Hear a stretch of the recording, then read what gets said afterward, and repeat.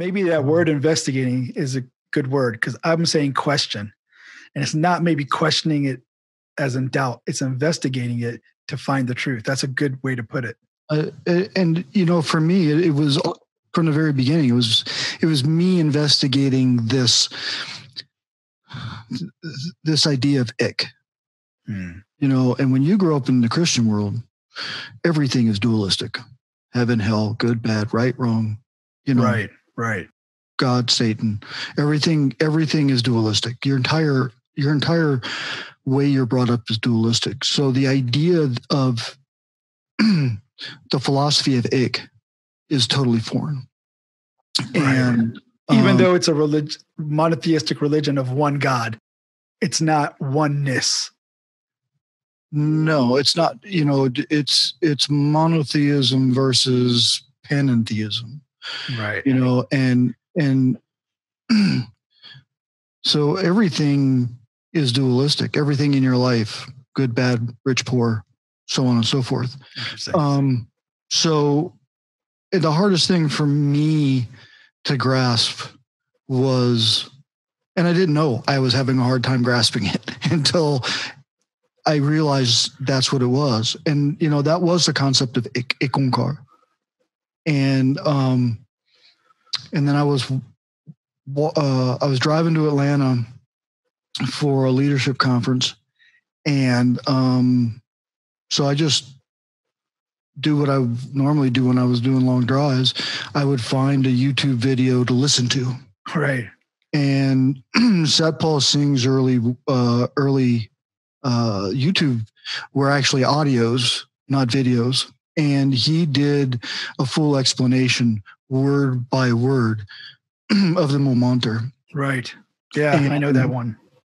And he did Ik and about halfway through that hour long katha is when I went ding.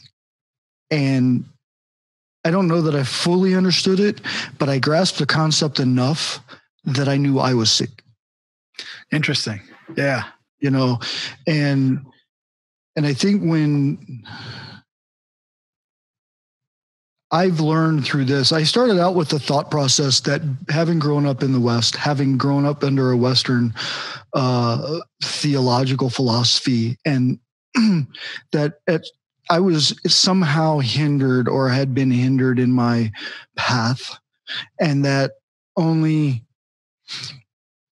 I'll use the term converts, even though I don't really like it a whole lot, but I'll use it. Um, converts could truly understand that but the more I got to know more Sikhs, the more I realized that the story of finding, of Guru finding you or you finding Guru, whichever way that works, are all very similar. Hmm. Because we all come from this background. You could be born into Sikhi and you could live Sikhi your entire life and not be Sikh.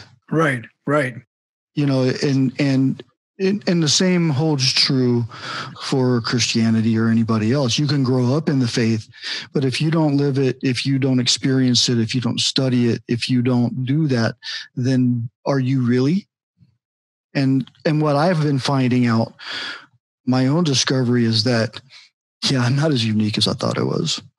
You know, um, there's so many people out there with like me, whether they're you know, grew up in a Western background or they came up in a Punjabi family and they just never paid a whole lot of attention, you know, or didn't practice, you know. Yeah. I mean, you have that, right? Oh, for Sikhs, we call it the dollar buffet.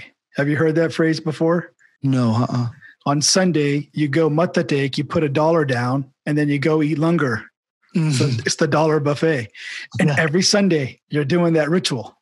Right you're not paying attention to anything you're not absorbing anything you're not contemplating anything you're just going through the motions of your faith quote yeah. unquote faith i mean it it you know i grew up going to church every sunday right you know and and you know you use it through the entire service you sing all the hymns you do all of those things you go to sunday school you go to vacation bible school in the summer you do all of those things um and it's it's it's no different. And I say it's no different. The experience that the, that the way we practice is if you don't practice your faith, then you'll never truly understand your faith.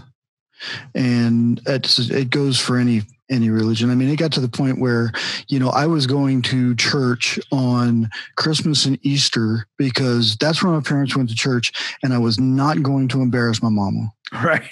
Right. it wasn't that I wanted to be there. Right. That if the whole family doesn't show up for Christmas and Easter, they're going to look at mama like there's something wrong with her. Where are your children? right. You know?